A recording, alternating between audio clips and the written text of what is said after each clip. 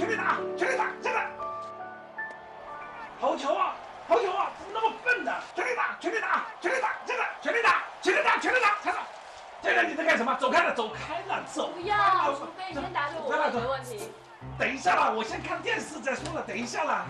你干什么？陈佳佳你到底问什么问题啊？你就是不准医生开的药是什么名字啊？哎呦每次都问这个问题。那药名是什么紫麦优、纳粹梨、德安稳。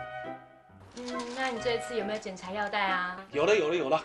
哎，那你知道哪一颗是新的药吗？嗯，我记得了。我上次啊抽血检查，医生说我的血脂啊异常，把我的麦优换成紫麦优了。哎，真的知道哎。我可是没有忘记检查药袋。算我平常没有白念你，这个检查药袋是一个基本的好习惯。拿到药袋以后呢，就要先看看上面是不是自己的名字、用法、用量，还有日期、药名、发药量。我知道啦，逃球了，逃了！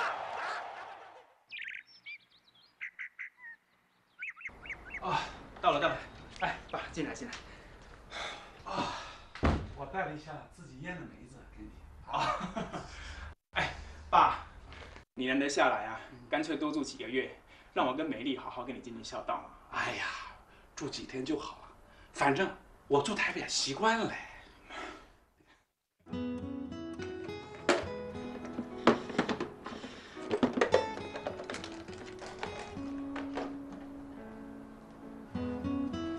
爸，你在找什么？啊，建成，哎，我上次留的药在这里，放哪去了？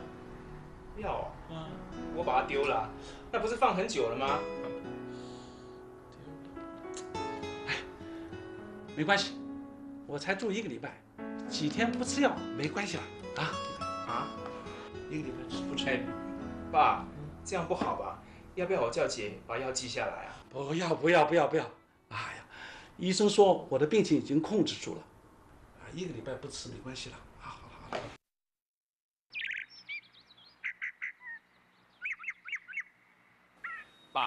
你下次来啊，我们再一起去打棒球。我年轻可是打棒球的。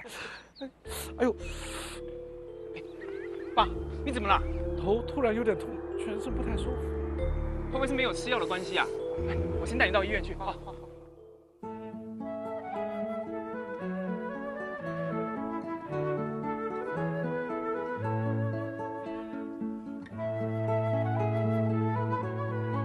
血压有点高哦，多久没吃药了？一个礼拜了，那你之前都吃什么药？紫麦油、纳粹梨、德安稳，就这三种。不错哦，你怎么会知道自己吃什么药？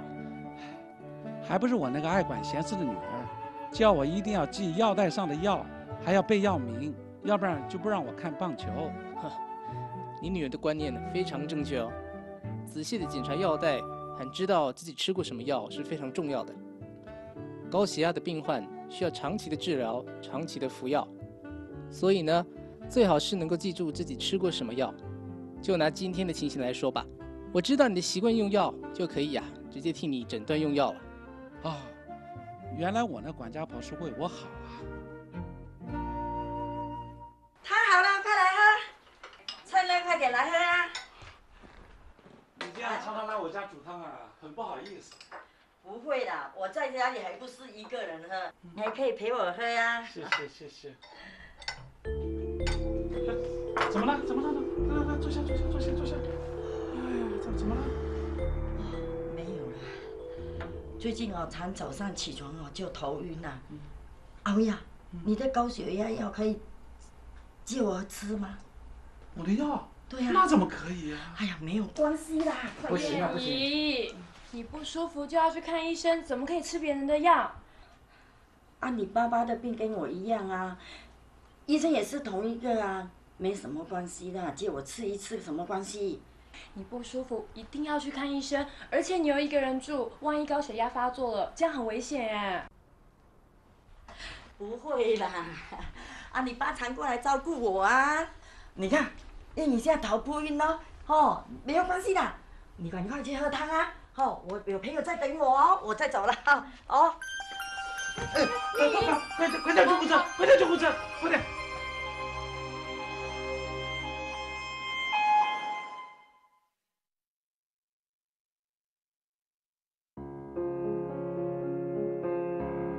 哎呦，我什么手无力啊，不听使唤。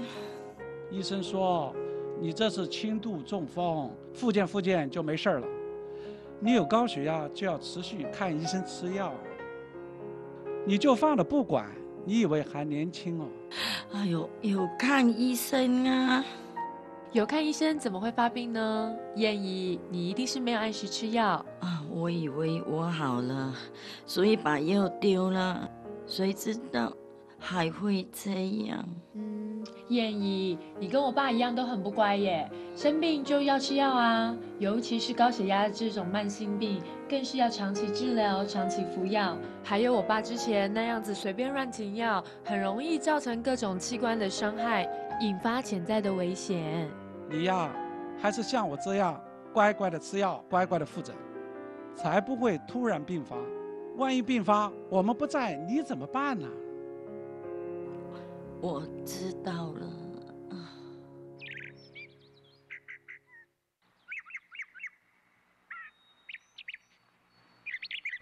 阿辉呀，哎，这阵子哦，谢谢你的照顾了。不要这么说啦。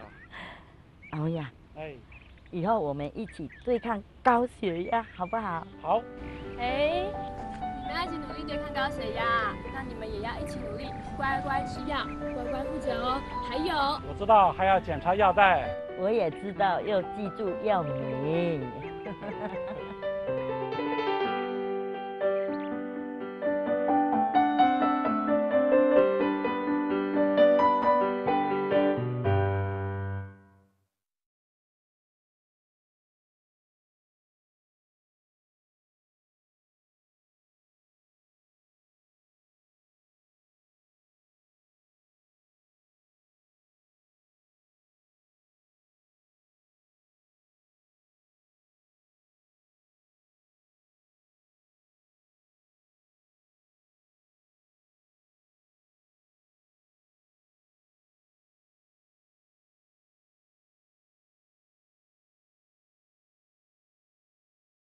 各位乡亲、各位女士、各位先生，大家好。很多上了年纪的老人家，大概都会有高血压、高血脂跟糖尿病这方面的慢性疾病。有了这些慢性疾病，绝大多数需要长期接受药物治疗来控制高血压、高血脂肪跟高血糖。到医院去看医生看病。那很多老人家拿了很多药物回家过以后，却不记得这些药物的药名、剂量还有用法。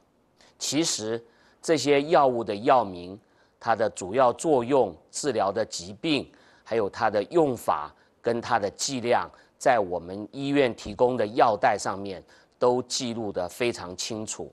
了解并且记住我们常常服用药物的药名、剂量还有用法，对我们有什么好处呢？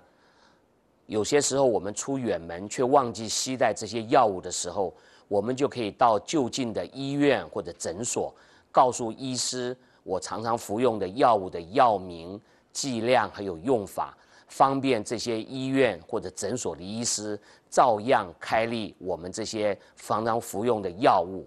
此外，值得再提醒大家的一个重点是，像高血压、高血糖、高血脂肪这些常见的慢性疾病，在治疗过一段时间之后，常常我们会发现血压、血脂肪跟血糖控制的都还不错，我们就会问自己：我是不是可以把这些药停掉了呢？那么在这里，我们的建议是：千万不要自己停药，千万不要自行停药。